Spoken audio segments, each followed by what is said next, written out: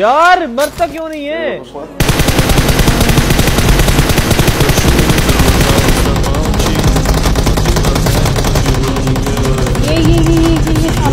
यार मेरी बहुत यार बहुत है। एमएस आई है एमएस आई है यार कब तक मार की